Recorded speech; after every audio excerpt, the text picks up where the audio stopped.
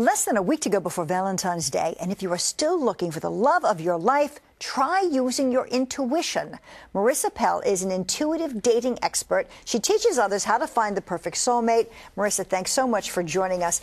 And you say that when you use your tuition, you have more of an advantage in understanding whether this person is really meant for you. So, how do we go about doing that? Well, everybody has intuitive abilities. The point is that they just don't listen to it. So we have to have you actually gauge your accuracy. And if you think back to situations that didn't really work out, you can usually backtrack and say, you know what, those subtle voices did speak to me within that first 10 seconds. And a year later, the same things that I knew back then come up now. So we have to really pay attention to that first 10 seconds. You have to. Now, you have yes. some advice, and I'd like to have our director put them up on the screen. So first impressions really do matter. Tell me why. They really do matter because most of us have many different subtle cues that we that we feel upon meeting someone. Usually when you meet someone for the first time, you either have a good feeling or a bad feeling, or you feel something in your body sometimes that actually happens with like a tightness in your chest. You feel good, you feel comfortable, or you feel a little anxious.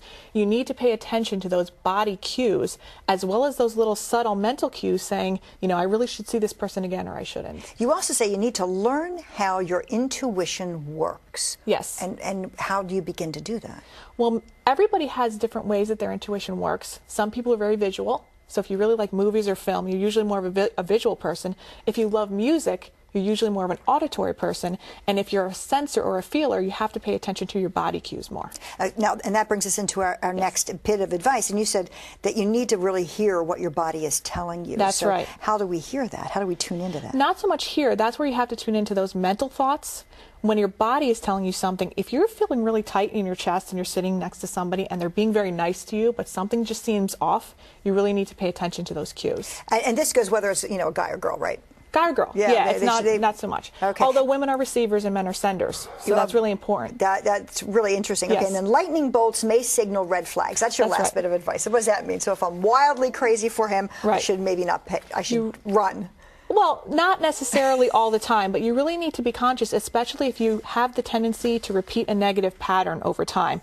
If you're dating the same guy or woman but a different face, usually your biological symptoms are telling you something that isn't true. Right. So you have to pay attention to that. Well, you have the opportunity actually to learn more about Marisa. Marisa, thanks very much. You can okay. join Marisa on Friday night at 6 o'clock for an Intuidate. It's at Vitarelli's at the Pennsauken Country Club. You can meet other signals, singles and also learn how to use your intuition to meet that someone special just in time for Valentine's Day. If you are a guy, if you are a girl, if you are single, if you're looking for love, here's one way to be able to do it. For more information and to buy tickets, head to cbs3.com slash talkphilly. Marisa, thanks very much.